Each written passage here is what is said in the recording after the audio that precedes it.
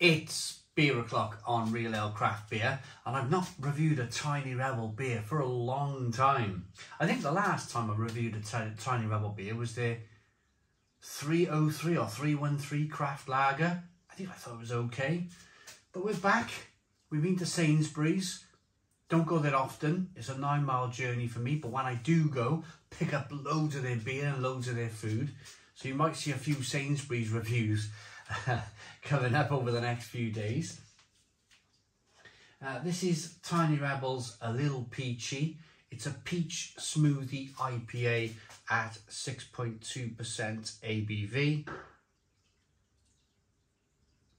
Now, before I get this can open, let me just get this bit out of the way.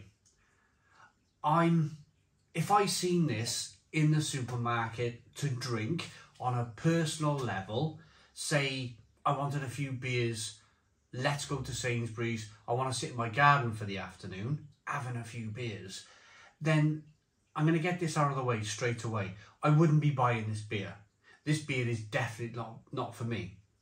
And I get asked the question quite a lot in the comments box of my videos. Well, if you don't like these beers, why do you review them? Why do you drink them? Uh, but that's the whole point, isn't it? That's the whole point. I've reviewed nearly 10,000 beers on the channel. I can give a kind of fair reflection on this beer and I can give my own personal points of view and reasons as to why I probably wouldn't buy this beer. But I think my beer reviews are fair enough to say, well, hey, if you like a peach smoothie beer or if you like something with ice cream concentrates in, then crack on, enjoy. It's not for me to kind of like, all I'm doing is standing here giving my opinion on a beer. So let's do that. Let's give my personal opinion on a little peachy peach smoothie IPA, 6.2% ABV. It was £3 a can in Sainsbury's.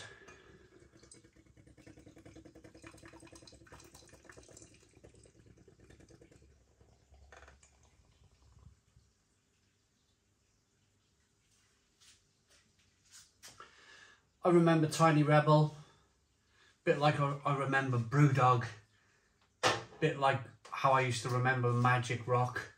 They were a fantastic brewery. When Tiny Rebel launched in, I'm going to say 2012, 2013, oh my goodness me, they were killing it. They were making some of the best beers, or actually, I'm just going to come out and say it. They were making the best beer in the whole of Wales. It was terrific stuff when they first come out. It was wonderful. And then I, I, it must have been their Pineapple Express it must have been a turning point that they brewed a beer with adjuncts, sold lots of it, made a, probably made a, a load of margin on it, a, lo a load of money, and thought, hey, there's our future right there. And you can't blame them for that. If that's the direction the brewery wanted to go in, then that's the direction the brewery wanted to go in. It's not for me to overly complain about it. Do I miss the old Tiny Rebel? Of course I do. Of course I do. And I'm sure many other people miss the old Tiny Rebel. There's a, little bit of sediment here in the bottom of this glass. Look at that. Quite happy with that. Quite happy. So we got a two finger white head. it's a hazy, light amber coloured beer. It's been out the fridge about 15 minutes just to give it a chance to warm up a little bit, just to appreciate those flavours. Let's get the aroma. Wow, that's just peach.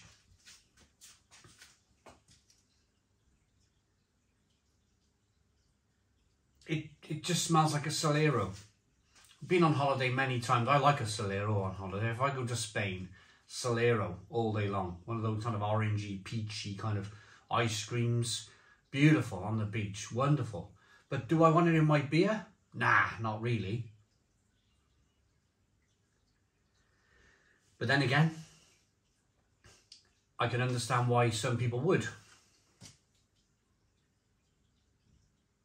So for me, not much malt, not much biscuitiness, not much in the way of hops at all. No spiciness, no pepperiness. A million, million miles away from what the Germans are doing or what the Belgians are doing, you know? Good, top quality beer.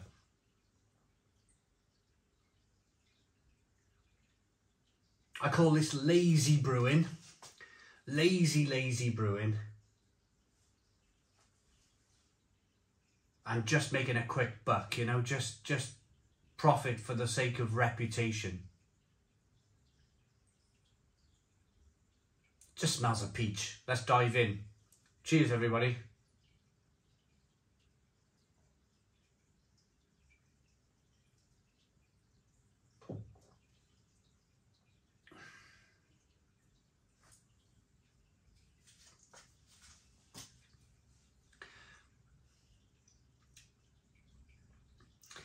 Ah, it's a headache. It's a headache beer. I can almost feel it. It almost like it, it kind of slides down my throat and then it kind of almost creeps up to the back of your neck. Do you know them neck headaches you get from maybe a bit of dehydration or maybe you've been to a beer festival and you've had one too many and you, you kind of like click your neck. You're like, oh, I feel like I've got a headache coming. That was instant, instant. It's like it, it slid down my throat. It's like it went straight up to the back of my neck. This beer is full of nasties. I'm just going to come out and say it. This beer is full of nasties. This is full of probably sweeteners, ice cream concentrates, brewing syrups, If you're wondering why you're waking up in the morning with a smacking headache after a few beers the night before, then look no further than beers like this.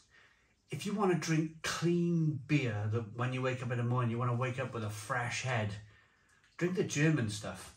I had a few Franziskaner last night, Franziskaner Heller beers. Um, Keller, Keller, beers. Franziskaner Keller beers and they were fantastic. Clean, crisp, drinkable. Woke up this morning fresh as a daisy. If you drink three or four of these, you'd be waking up with one of those nightmare headaches where you can't lift your head off the pillow.